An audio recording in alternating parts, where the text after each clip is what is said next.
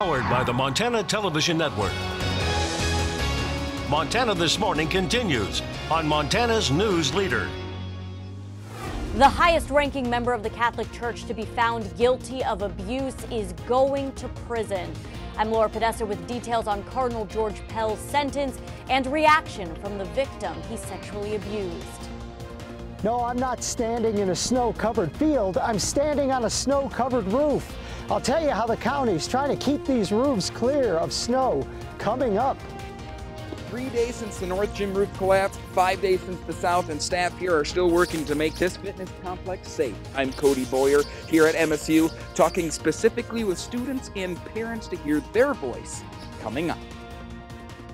Good morning to you and welcome to your Wednesday. It is coming up on 6:30. I'm Missy O'Malley with Chet Layman. And our top story for you here, if you use a Verizon cell phone in Gallatin County, don't expect 911 calls to work the way you expect. Yeah, Gallatin County says that due to a Verizon problem, those calls are being routed to the 911 center's non-emergency lines. Because of that, when you get through, you should immediately tell the dispatcher uh, that you are making an emergency call. Give the location of your emergency. Now, if you get a busy signal when you call 911, hang up and call again Verizon won't say when it may have that problem fixed. Good to know. Absolutely. Good to know true, those yeah. things. And as we mentioned a moment ago, the highest ranking member of the Catholic Church has found has been found guilty of abuse and is heading to prison. Today in Australia, Cardinal Pell was sentenced to six years behind bars for the sexual abuse of children. CBS's Laura Podesta tells us what his accusers are saying in reaction to that news. This means that I sentence you to a total effective sentence of six years imprisonment. Demonstrators outside an Australian courtroom clearly emotional as a leading Vatican official is sent to prison. Cardinal George Pell, once one of the Pope's closest advisors, was told he'd be spending the next six years behind bars for sexually abusing two choir boys. The crime happened in 1996 when Pell was Archbishop of Melbourne, Australia. Today we sent a, a message that our children are important and their lives matter. Vivian Waller represents one of Pell's victims. She read a statement on his behalf. I appreciate that the court has acknowledged what was inflicted upon me as a child.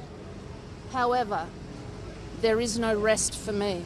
Pell maintains his innocence and will appeal the court ruling on June 5th. Seen in this video from 2016, he responds to the accusations that he cornered the 13 year old boys, accusing them of drinking communion wine, then forcing them into a sex act. Blatantly false. Madness. The judge said he'd considered Pell's age, 77, and his health in determining the sentence. The Vatican says it's also pursuing its own investigation into the crimes. Laura Podesta, CBS News. Now, only one of the two victims Pell is accused of abusing in 1996 testified in this trial. The other died of a drug overdose in 2014.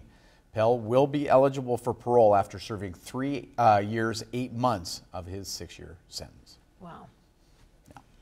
Matt joins us now, and the snow is a coming. Uh, it is certainly west of the divide. You can look at the uh, area roadways west of the divide. Certainly snow on the ground.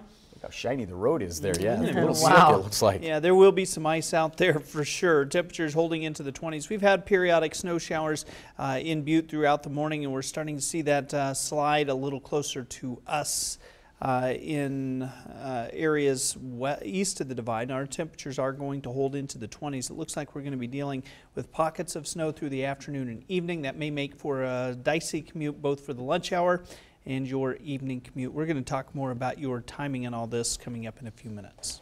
Thank you for that, Matt. Now 6:33. Now let's stay right on topic. All of the snow that's dumped on Butte recently has created plenty of ice on some of Butte Silver Bow's buildings. Yeah, MTN's John Emeigh tells us how maintenance crews continue to try to keep snow and ice clear from building drains to avoid possible damage to those buildings. Butte Silver Bow's building maintenance department is fighting to keep the ice and snow off of buildings. It's, it's a battle with Mother Nature, and uh, she still seems to be winning. And she's made a few large icicles on some of the city building drains.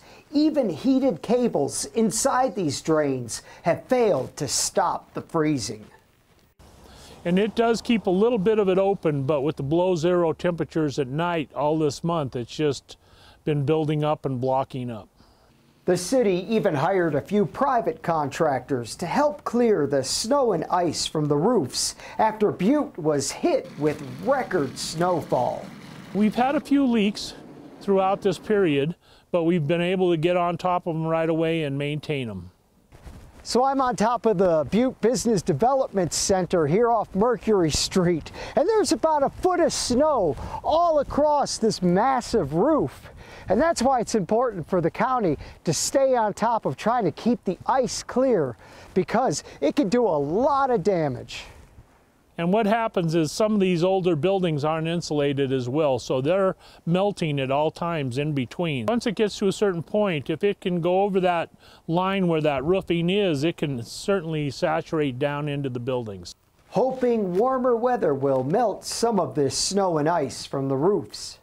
In Butte, John Emeigh, MTN News. Also, local contractors report being booked a week in advance to clear roofs of uh, private homes and businesses as well from that snow. Now let's stay on topic. Once again, three days ago, the roof at Montana State University's North Gym collapsed. Now, two days prior, the South Gym caved in. Fortunately, no one was injured in either incident, and the University Fitness Center has been shut down. MSU is still trying to figure out the cause. In the meantime, students at the school are a little on edge. MTN's Cody Boyer took his camera and his microphone to get a sense of what's been happening on campus.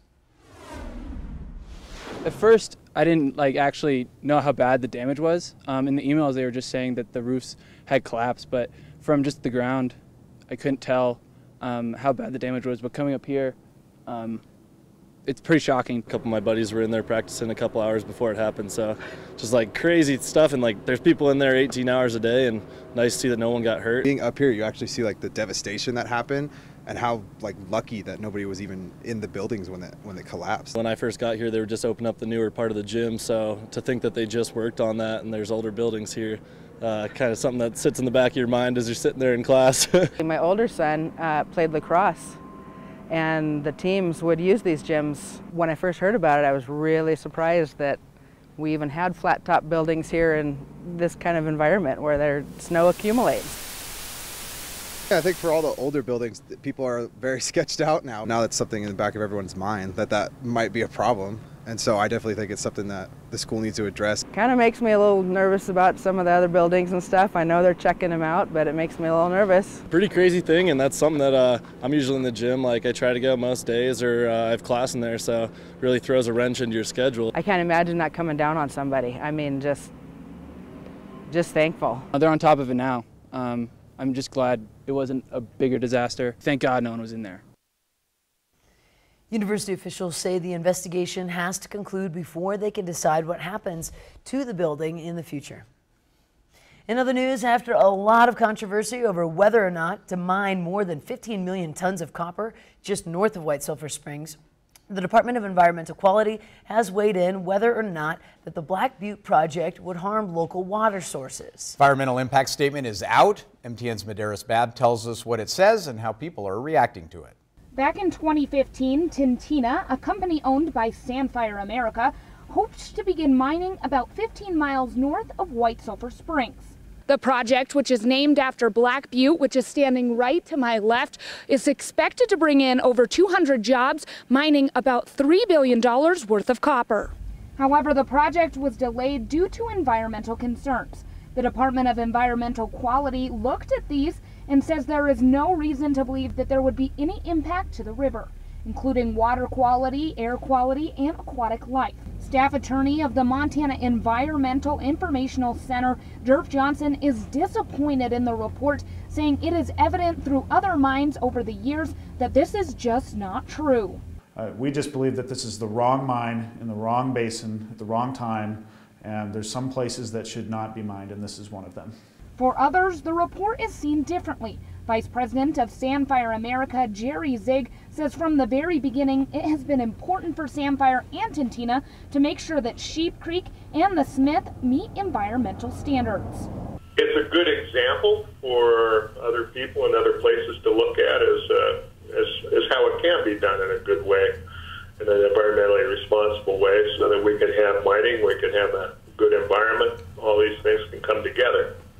Zieg hopes the start of the 20 year mining project will begin in the third quarter of 2019, but before that can happen, the public will have a chance to give their opinion on the DEQ's report. Reporting from White Sulphur Springs, Medeiros Bab, MTN News.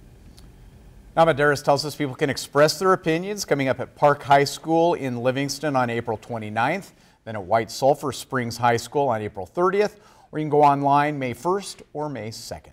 There you go. Yep. Get, th- get your voice heard. Yep. Now, if you're in Butte or if you are heading to Butte on Sunday for St. Patrick's Day for the big parade, parking will be restricted on some streets in Uptown Butte will be closed altogether to traffic by Saturday afternoon in preparation for the big celebration. Yeah, traffic will be restricted on Main Street between Granite and Galena Streets and on West Park Street between the parking garage and Wyoming Street. Closures will begin at 3 o'clock in the afternoon on Saturday. They'll reopen at 8 o'clock in the morning on Monday. St. Patrick's Day Parade will begin on Sunday, 12:30 in the afternoon on Granite Street. I think this year especially, I think with, with kids out, out of college, um, it's been a long couple of weeks with the weather, so I think we're expecting a big crowd. Oh, I think so too. The uh, St. Patrick's uh, Day Parade again will begin on Sunday at 12:30 in the afternoon, Granite Street. You can see it live on our website by using KXLF KBZK News app. And Chet will be hosting that fabulous Caitlin parade. Corbett and I will be standing up there on Yes. the parade, direct out in green, uh, watching all the uh, fun that uh, is the St. Patrick's Day Parade. That'll be a good time. blast, yeah. It is time for a quick break. In just a moment, the state's largest electric and gas utility, Northwestern Energy, is in the middle of its first ever major electric rate raise in 10 years. When we return, Mike Dennison reports on the hot topic. But first, we're going to check in with Gayle King to see what's coming up at 7 o'clock on CBS this morning. Good morning to you. Ahead and only on CBS this morning, the parents of Azriel Clary, one of R. Kelly's girlfriends, tells us why they fear for their daughter's life. Plus, a behind the scenes look at what it takes to make Facebook's new virtual reality platform. We'll see you 7 o'clock on the dot.